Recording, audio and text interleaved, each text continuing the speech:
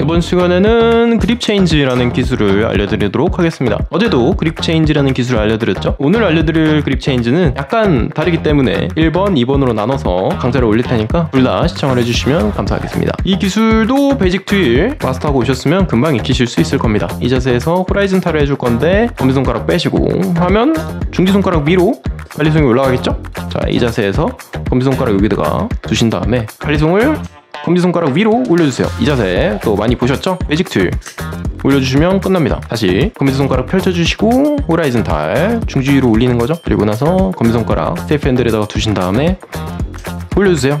올리고 나서 중지 누르는 힘 그대로 이용하셔서 검지엄지 safe handle 잡고 올려주면 되는 그런 기술입니다.